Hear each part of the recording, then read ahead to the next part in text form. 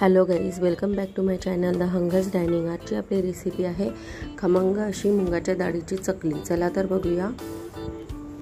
साठी आपल्याला लागणार आहे अर्धा किलो मैदा आणि एक पाव मुंगाची डाळ. सर्वात आधी मी हा मैदा एका कॉटनच्या कपड्यामध्ये बांधून याला तीन शिट्ट्यावर वाफवून घेतलेला आहे. वाफवल्यानंतर हा मैदा अशा प्रकारे तयार होईल. हा मैदा मी आता एका भांड्यामध्ये काढून घेणार आहे. आणि याला सराट्याच्या सहाय्याने पूर्ण खुलं करून घेणार आहे. बघू शकता सराट्याने मी थोडा थोडा पाठ करून असं काढून घेणार आहे. बघू शकता पूर्णपणे हा मैदा मी अशा प्रकारे काढून घेतलेला आहे.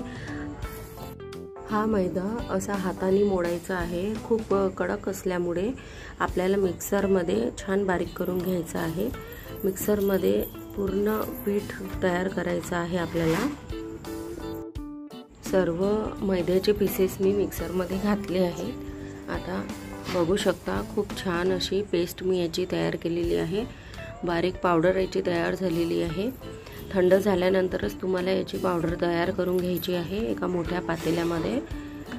पूर्णपणे कुठे गाठा राहिलेल्या असतील तर परत मिक्सरमध्ये तुम्हाला फिरवून घ्यायचा त्यानंतर इथे एक पाव मुगाची डाळ घेऊन याला स्वच्छ तीन पाण्याने धुवून घेतलेला आहे. आणि मिक्सरमध्ये तीन शिट्ट्यांवर आपल्याला तयार करून घ्यायचं आहे. बघू शकता तीन शिट्ट्या तयार झालेल्या आहेत आणि आपली डाळ मस्तपैकी शिजलेली आहे. ही डाळ आता छान खुली करून थंड करायला ठेवायची आहे. थंड झालेली आहे. आता सर्वात आधी आपण ही मैद्याची जी पावडर आहे त्यामध्ये ही शिजलेली मुगाची डाळ घालून घ्यायची आहे. तिखट इथे मी घालणार आहे. तिखट झाल्यानंतर मी इथे चवीपुरते मीठ घालणार आहे. चवीपुरते मीठ घालून झालेले आहे. यानंतर मी तीळ घालणार आहे. बघू शकता तिळाने छान चकलीला टेस्ट येईल. म्हणून थोडी तरी तीळ तुम्ही चकलीमध्ये घाला. याला अशा पद्धतीने मळून घ्यायचं आहे. थोडं थोडं पाणी घेऊन याला छान या पद्धतीने मळून घेतलेलं आहे. असा गोळा तयार करायचा आहे. झाल्यानंतर आपल्याकडे छोटे छोटे गोळे करून चकलीच्या साच्यामध्ये आपल्याला भरून घ्यायचा आहे. चकलीचा साचा या पद्धतीने घेतलेला आहे मी. बारीक आकाराची चकलीचा शेप आहे.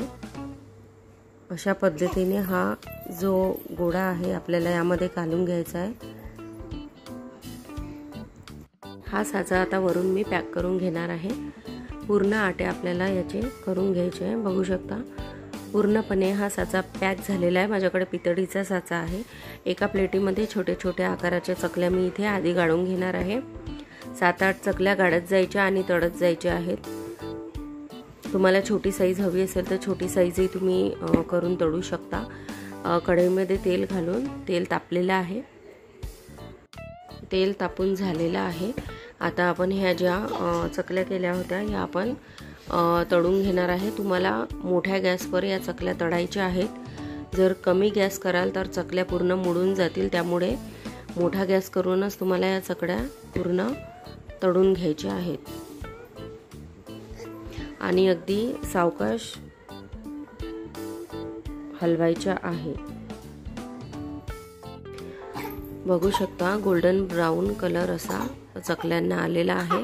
एका प्लेटमध्ये टिश्यू पेपरवर या पूर्ण चकल्या मी इथे काढून घेणार आहे. खूप खमंग अशा या चकल्या तयार झालेल्या आहेत आणि क्रिस्पी पण तेवढ्याच झालेल्या आहेत. बघू शकता ज्या चकल्या बाकी आहेत त्या पण मी आता तळून घेणार आहे. टाकताना फक्त कमी गॅस असू द्या नंतर तळण्याकरिता तुम्हाला मोठ्या गॅसवरच चकल्या तळून घ्यायच्या आहेत. आणि खूप सोपी आणि लवकर बनणाऱ्या या चकल्या आहेत. परत टाकलेल्या चकल्या पण या तयार झालेल्या आहेत. या पण चकल्या मी आता टिश्यू पेपरवर काढून घेणार आहे. टिश्यू पेपर किंवा पेपरवर पण तुम्ही काढू शकता जेणेकरून तेल ऑब्झर्व करेल. सर्व चकल्या इथे तयार झालेल्या आहेत. बघू शकता. बघू शकता खूप खमंग अशी चकली आपली इथे तयार झालेली आहे. ही रेसिपी खूप सोपी आहे.